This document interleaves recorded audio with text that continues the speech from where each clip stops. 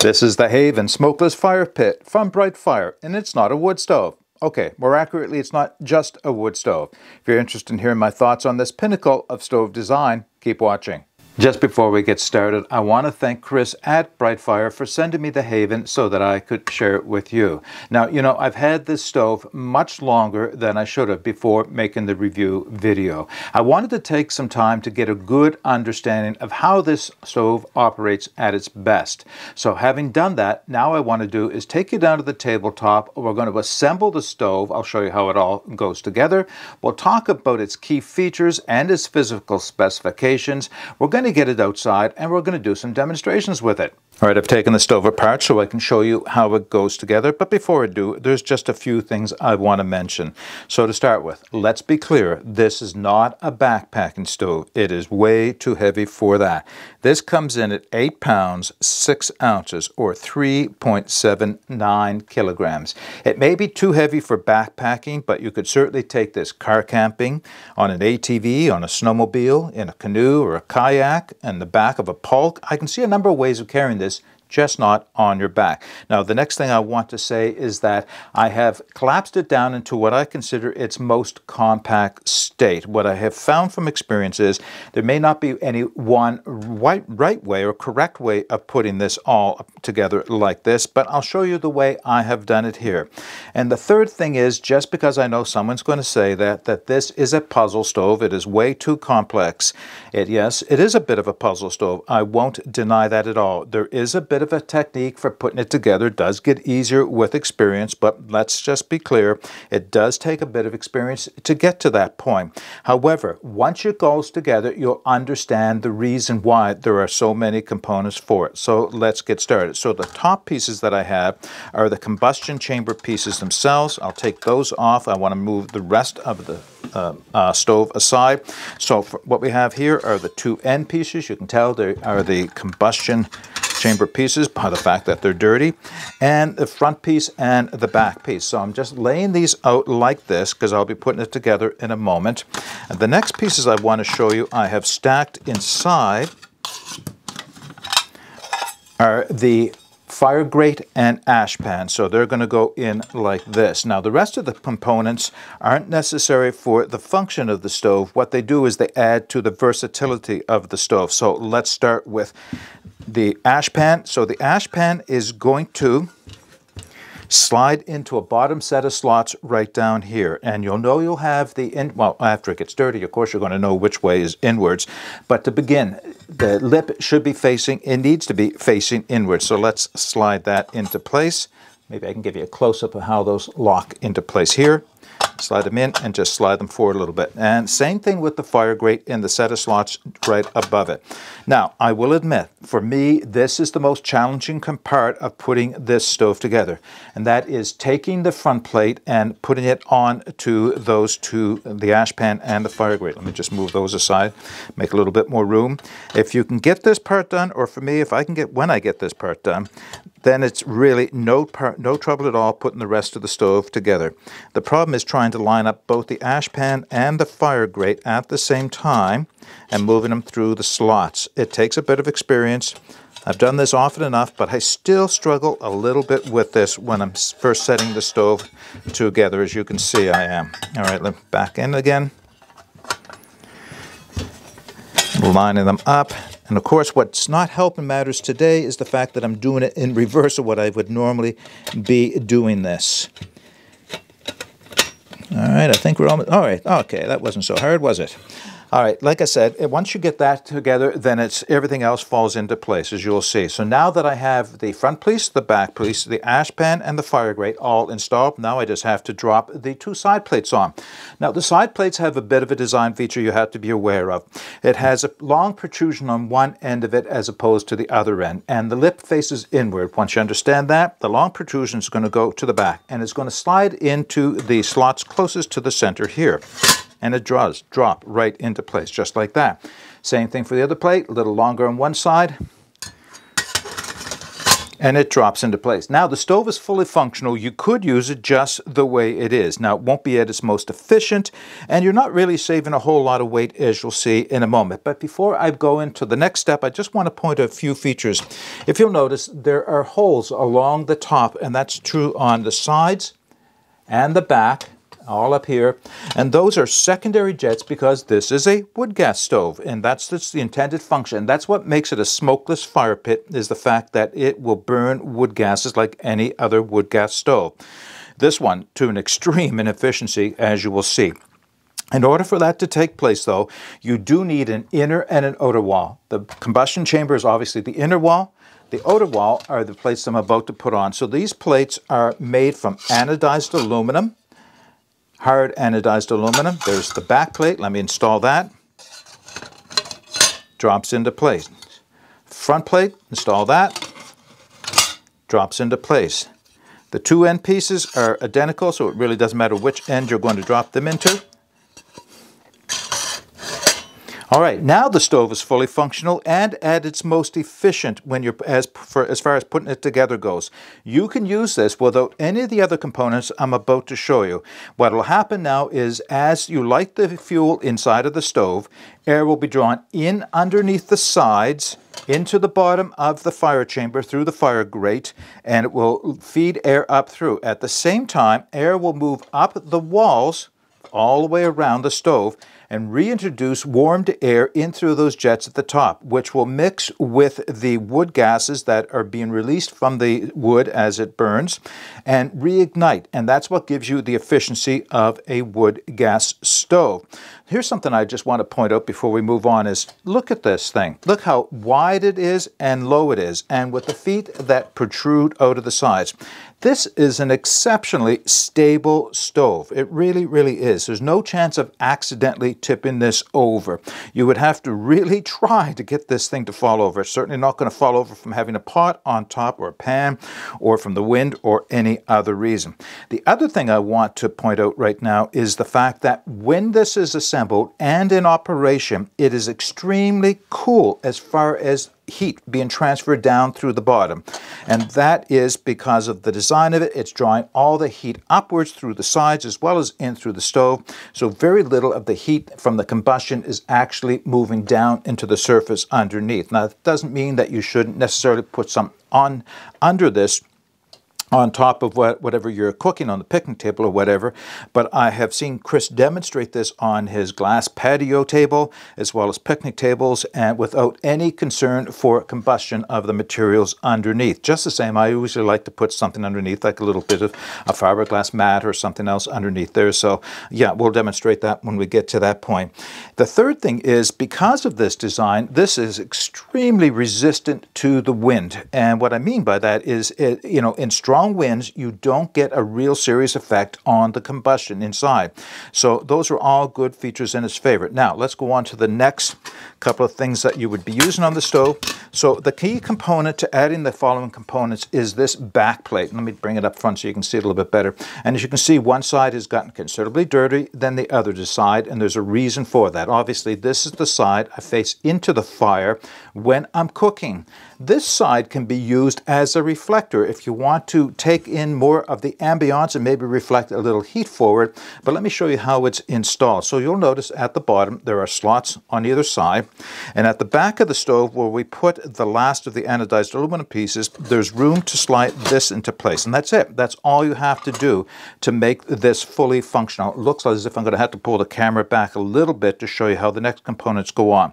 But before I do that, let me just show you those next components. So the two pieces that are used most often for cooking with the stove is this grill, and this grill will go right on top here like that. And it can also be used in conjunction with the back plate, which I'll show you in a moment.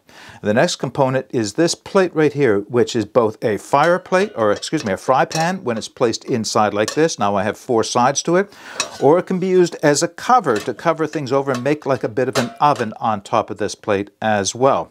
And the next component is this, which is a pot stand. And in order to assemble the pot stand, let's move the stove back a tiny bit. Uh, you can see the design of it. Three crossbars. Let's put the crossbars on. slide them into place. All right, so the crossbars are now locked into place. Now with the crossbars locked into place, you can use this fire or this pot stand either right down here at the bottom or again with the back plate. Now what I do need to do is just move the camera back a little bit so you can see the back plate in operation. All right, so again, we'll slide the back plate into place on the back. Now with the back plate in, you can also use each of these components by locking them in with locking or locking slots right here on two places, here and at the top. So like that, or like that. And that's true for the pot stand as well.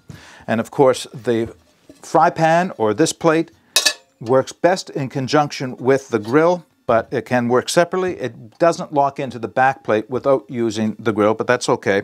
Now, why do you need so many locking pieces or locking or locations for this to operate? So functionally, here's what you might do. If you get a fire started in this, or when you get a fire started in this, obviously it's at its most intense shortly after it starts combusting. So at that point, you can have a lot of flame. Normally, when you're cooking with a wood stove or an open fire, you have to wait until the fire starts to die down so that you have a lot more controlled heat and not so much intense flame. You normally want to cook, unless you're boiling water, of course, you normally want to cook over hot coals, not intense flame. Well, that's quite a bit of time and fuel being consumed while you're waiting for that to occur. So here is where the genius of this design comes in. So with the backplate installed, I can start cooking the moment I light the fire by taking the, this plate and bringing it all the way up to the top, all that distance away from the flame. So I can start cooking right away. I've moved away from the intense heat of the flame, but I still have access to the heat that's rising below this. So I can either use the grill, the grill with the pan, and again, flipped it over and turn it into a bit of an oven. Now, as the fire progresses and the fuel starts to burn down and the flame starts to reduce, I can then lift it off of the top, bring it down to the next slot and slide it into place. So I'm a little bit closer, again, to the major portion of the heat, and I'm able to control the amount of heat that I have at that point. And finally, when the fire dies down even further, I can remove the back plate Bring this back into play and you'll notice that there are little notches on either side. They made up with two little tabs right here to lock it in so it doesn't slide or move on you. And now I have my grill as close to the coals as I can. So I get maximum amount of heat and I have the, uh, I have the control starting at the top, the middle, and the bottom so that I can regulate my heat and begin cooking right away. So I think that's quite ingenious. All right, we're going to take a moment to go through the physical specifications for the Haven uh, smokeless fire pit, but uh, all the information I'm about to give you I will put in the video description below, obviously. So let's just start with some of the obvious. The weight, as I mentioned, it comes in at 8 pounds, 6 ounces, which is 3.79 kilograms. Now you can take a little bit of weight off of this by leaving some of the other components at home. But to be honest, they're all intended to work together as a system, and you'd be missing out if you don't take all those components. So let's look at the height of this. So at its height right here, it comes in at 5 inches and 5 eighths, 5 and 5 eighths inches, which is 14.3 centimeters. If I add the back wall, it comes in at 11 inches and 11 and 3 eighths inches, which is 29 centimeters. The width in this direction is 9 9 and 1 8 inches, 23.1 centimeters, and from front to back it measures in at 6 and 3 8 inches or 16.2 centimeters. The burn chamber inside is 4 inches in this direction, 4 inches in this direction, and 6 inch or 6 inches in this direction, 4 in that direction, and 4 inches deep. Okay, now let's just talk about the materials for this stove because this is part of what makes this stove uh, special. So Chris worked hard to find a source of stainless steel that would meet the design specifications and he did so, but first off, it's not easy to get and it's not cheap to purchase, but it is the right steel for this stove. This is not your typical 304 stainless steel that's used in so many other stoves. This is a high grade, highly heat resistant stainless steel in 16 gauge. And it adds both to the weight but also to the cost of putting this stove together. And Chris does tell me that it can be a bit of a challenge to work with as well, trying to bend it. But as a result, you get a extremely well efficient burn inside of the stove and the durability. Now I've had about a dozen fires, maybe 20 fires in this over the last little while. I have absolutely no warping whatsoever, which is unusual because I've had some pretty intense fires in this stove. But that's not the testimony. The testimony for this stove is Chris's personal version of this, which Chris has had seven hundred fires in it, and to be honest, it doesn't look any different than mine. Maybe a little bit more faded on the anodized aluminum, but 700 fires, zero warping. So I guess if nothing else, that speaks to the durability of the design. Before we go outside and do some demonstrations with the Haven, I just wanted to talk for a few minutes about the company Brightfire as well as the design intent for this stove. So Chris Cavers, the owner of Brightfire, was born and raised in the province of New Brunswick, Canada, before moving to the United States where he now lives and builds these stoves and in his home. Now, Chris also tells me that he was the youngest person ever to become a licensed guide for the province of New Brunswick. Now, what tells me is that Chris has a lifetime of experience that he could draw on in the design of this stove. Now, as far as the design intent, Chris had a few things that he was looking to accomplish, and I think they're nicely captured in the byline amazing fires and delicious food made with just a handful of wood. Basically, Chris was looking to create something first that could be a replacement for a small campfire, something that you could sit around and enjoy without having to collect a whole lot of firewood. But also important to Chris was to create something that you could cook over very effectively. And we talked a little bit about that a few moments ago and how the uh, components work together so that you can start using the stove the moment the fire is lit. And the third thing is efficiency. Chris wanted to create something that would use a minimum amount of wood and allow you to get cooking right away. And he does that with the design of the stove. This being a wood gasifier uses the least amount of fuel and is virtually smoke free, at least once it gets going. So Chris has captured all three of those very nicely in the design of the stove. Also inherent in this stove is the design, as I explained earlier, with the wide stance and the low profile of the stove, you're very unlikely to ever knock this over unintentionally. Okay, now that we have gone over each of those things, let's get outside and do some cooking. All right, time to do some demonstrations of the Brightfire Haven in my backyard, on my deck, on my testing st stand that I've made for a small wood stove. So what I have set up here is obviously the stand, two fire bricks, not for any special reason, because as you see, on top of the fire bricks, I've placed a piece of computer paper because I want to show you how much heat actually does transfer down. I do have a wooden windscreen built around it because, well, it's kind of windy here today. It's right about zero, and I'm not sure if it's showing up in the camera, but we're having wet snow fall all around us. And uh, yeah, so it's uh, not a big impact to the operation of the stove, but I just wanted to set the working parameters. Now, what we're going to do is get a fire started in this. I have two sausages that I'll be cooking up for my lunch. And as we get the fire started, I'll talk a little bit more about the stove. So what I have done is pre-loaded the stove with my wood. It is all hardwood and it's all in a horizontal configuration. So here's the place to start, I guess, is this stove is intended, like all wood gasifying stoves, is intended to be top lit. In other words, you put a fire on top of your wood. It's called TLUD, T-L-U-D, which stands for Top Lit Up Draft. So the fire actually kind of burns down through the wood, releasing wood gases as the wood comes up to temperature. Those wood gases mix with the reintroduced oxygen at the jets around the top, and that's where you get your secondary combustion. Optionally, I could have vertically stacked the sticks. The difference being is vertically stacked sticks burn faster. The, the consumption of the wood is much faster down through the vertical stacks, slower when you do it this way. So if you're looking for a cooking fire and you're not looking for high heat, then this is a better way to go. So what I have to start this off is a piece of wood wool, good size piece actually, which tends to light up very quickly as you can see. Give that half a second. And now I need to build a small fire on top. I'm using wood chips from actually carving my last kuksa.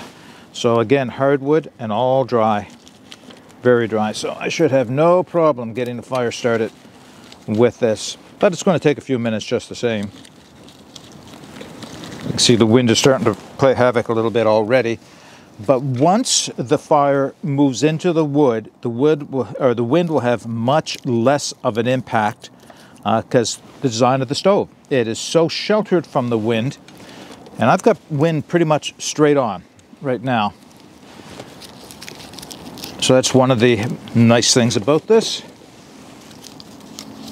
You can operate it in some pretty, I don't want to say sketchy conditions, but some pretty heavy weather.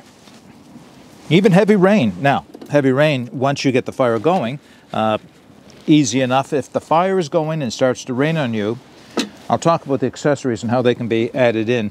But you can actually bring it, the, the top, the, the plate here, right down to a point where there's only a small gap of air here, or gap there, and that's enough to keep the fire going and protect it from the flames. It does dampen it down, but it does keep the fire going that way. Oh, here's a nice little bit bigger piece of wood to put on. So as the fire catches on, let's just talk about a few more things. We've talked about two different ways of stacking wood in. Uh, in a future demonstration, I will be using wood pellets because this really is, I don't want to say designed for wood pellets, designed for wood pellets and wood. And of course, being a wood stove, you got to demonstrate it with wood, but I will be demonstrating it with wood pellets. Chris always recommends hardwood pellets that are des designed for cooking over, like smoking pellets, that type of thing. Quality good pellets, especially if you're going to be cooking or uh, right over the flame. You don't want to introduce any chemicals that may have been used by binders in the, the making of the pellets, which obviously that makes sense. So a couple things I want to show you. I don't know how much I talked about this before. This is the pot rest, and the pot rest can be right at the, the lower level, it can be at the center level, it can be at the top level. With those three removable uh, crossbars, you can remove them in the center. Now here's what I want to say about this. Uh, one of the things I wanted to do is to see how well I can get this stove to work with a Trangia alcohol stove. Reason being is maybe first thing in the morning or sometime in the afternoon, I don't want to go through the work of building up a full fire. I just want a quick hot water to make my coffee or tea with. Then this is the thing to use. Right down on top, right at the base level, alcohol stove turn up inside, supported on something to bring it up to inch, inch and a half from the bottom of the pot. And this is your pot stand. Now, originally, before Chris came out with that, I was using this as my pot stand. And this is your grill plate. Uh, didn't work out so well. And the reason being is this was a huge heat sink. As you can well imagine, actually it was designed to grab the heat and kind of dissipate it around anything you're grilling. And that's what I'm going to be using today. And so as a pot stand, it didn't work out so well. Too much of the heat was taken into this metal and didn't get to the bottom of the pot. Okay, let's have a look and see how this is going. Starting to catch down in there. Oh, that's great. The wood wool has not anywhere near consumed itself, and I've already think I'm starting to see the secondary combustion taking place. Now, here's the way to do this. I could probably start cooking right away. In fact, I will in a moment's time when I finish talking here by taking this plate, the grill plate, and putting it at the highest level. So at this level, minimal amount of heat, especially with this wind, is going to be reaching. Let's see. Not a lot of heat, but it's a great place to start. If I don't find it's hot enough, I'll just take it, and move it down to the next level. In fact, I think I may start there. Yeah, I feel some heat coming through there. If I wanted to use this as a fry pan, then I would take this plate, put it in in this direction. So now it's a four-sided fry pan. Now, I did do an egg on here. It's a little tricky. You want to make sure it's hot enough that the egg doesn't run out and down the sides. Not that there's a lot of gap here at the corners, but there's a little bit. Same time, you don't want it so hot that the egg sticks like crazy. So obviously a little bit of butter inside helps a lot. One of the things I want to show you about this pan is this notch or groove or uh, opening right here. What that's intended for is for placement. If you want to turn this upside down and then take it off, what can I use? Maybe I'll use one of the boss band cross stars. If you had a, a fork or, or, a set of tongs that were narrow enough, or even your knife blade if you want to do that, you can lift this and turn it over. I think it'd be better with a fork myself. And now you can flip it up. So either way you want to use this, that's what that notch is for. Today we're going to be using the grill. And again, I'm still just waiting a little bit to the fire really starts to engage down below. Although I could probably put my sausages on. Why don't I do that? Put the sausages on now. A little bit of a sizzle. I could have waited a few more minutes.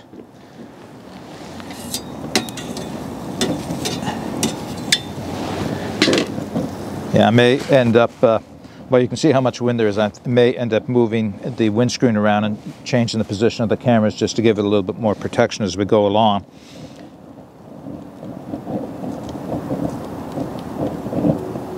Yeah, okay, so far so good. Still waiting on the fire to really get engaged and I'll show you how that works out. So let's just talk about using pots and pans on here because the obvious thing is if you're restricted to using this grill plate, this as a fry pan, and this as a pot stand, well, there's a couple of pieces missing right off the top. You need a place to put a kettle. And that's what this is all about. So this is your pot stand for a kettle or any number of pots. Now, you are restricted to the size of the opening, but having said that, you can get some pretty good sized pots on here. I don't know about a large Dutch oven. I will say it will support a large Dutch oven for the testing. I did put my Dutch oven on top of the pot stand. No problem at all. The problem is, of course, is this is intended for something that large. It's not intended to have uh, something hanging way out here, a little kind of cantilever. Again, having said that, if I take this off, take the back plate off, I can get a good sized fry pan like a large, maybe even a 10 inch skillet, cast iron skillet, down on the base down there, and it works just fine. So you're going to have to go through your collection of pots and pans to see which one is the one that you want to use with this, but your weight consideration, or weight is not a consideration. It'll support all the weight. Size is the consideration here. I think that might be a little bit hot, and as you can see. All right, there's a good indication. Can I move it up? Yes, I can. Not too hot. So I don't have to wait for the flames to die down in order to do this, to cook at a higher height. I just move it, and that's how I adjust my heat. And there's still heat reaching them. Okay, let's have a look inside of the fire. Yeah, it's still really establishing itself. That wood wool, kind of strange stuff, kind of like created charcoal out of itself. I'm seeing some secondary combustion. I'm not sure if it's showing up. I'll certainly bring you in some a little bit closer so you can see it. Okay, I think what I'll do now is just cut away for a few minutes, work on tending my sausages, and bring you back as they get closer to being cooks and give you some close-ups inside of the stove. I'm hoping you can see in behind the flames to see the secondary combustion taking place along those jets on the back wall. Okay, yeah, I think they're showing up on the monitor. Good. What a nice looking fire. You can see that the wood inside looks more like it's charring than burning, which is gasification taking place. Nice, clean, smokeless fire. There's a lot of heat coming out of that stove right now. It's just nice to sit and watch. I'm busy cooking my sausages. I raised the grill to the top level and I actually added the pan in. Let's see if I can pan up there. Because there was so much heat coming out that uh, I didn't want the sausages to burn. So I can continue to cook them, and as that load, that's still the original load of wood, as that wood burns down, then uh, I can lower the pan to meet the heat. So the flames have started to die down from that original load of wood still going.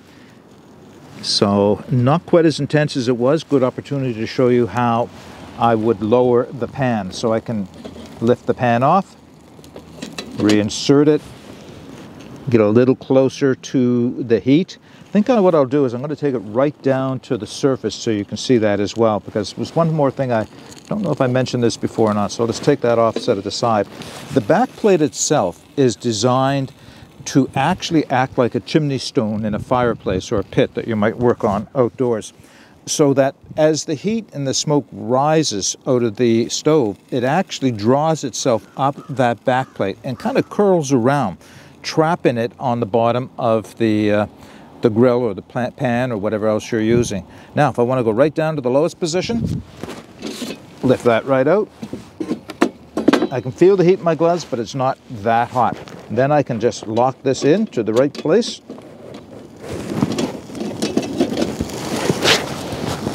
And now all the heat that's rising in the stove is captured. I'm not losing any of it out of the sides. It's applying itself directly to the bottom of my pan. And as you can see, my sausages are, well, they're probably cooked. And I can let them go a few minutes. Look how plump they are. Don't poke your sausages. let the fat stay inside. That's how you get a nice juicy sausage. Don't let the, the fat roll out onto your pan. All right, a few more minutes time, I'll take these off. I'll enjoy my lunch. And uh, once the stove is all cooled down, we'll do a wrap up for this video. Uh, quickly, just before we wrap this video up, I thought I'd show this. This is that piece of computer paper that I put underneath the stove to show you just how little heat transfers down. The only staining is uh, grease from the sausages that I was cooking. That's very impressive. Just shows the safety that's built into the stove. They can put this virtually on top of any surface without concern for too much heat transferring down. All right, now we can wrap the video up. All right, let's see if we can wrap this video up with a few comments for the BrightFire Haven. So, you know, I really like that Chris was able to meet his design intent with this stove. This is a fire pit that you can sit back and enjoy and at the same time cook a full meal over using just a small amount of wood. It really is a fun stove to use from that point of view. At the same time, it does have a few downsides. One is obviously the weight, but again, we've already declared that this is not a backpacking stove. So as long as you have a means of transporting it, then that's not really an issue. The other thing is it does take a bit of time to learn how to put the stove together and take it apart for storage afterwards. Again, once you've got that covered, that's not an issue either. Do you know, there's so much more that I would have liked to show you today, but there's only so much time in a video that I can do that. So what I'll be doing is coming back at a later point and giving you more demonstrations with this stove, either here in my backyard or when I get out to do some car camping. So what I'll do is put all the information I have given you in the video description below, as well as the contacts for this stove if you want to consider its purchase. If you have any comments or questions, please put those in the comments section below. But until next time, get out and explore and take that path less traveled because it will make all the difference. Bye for now.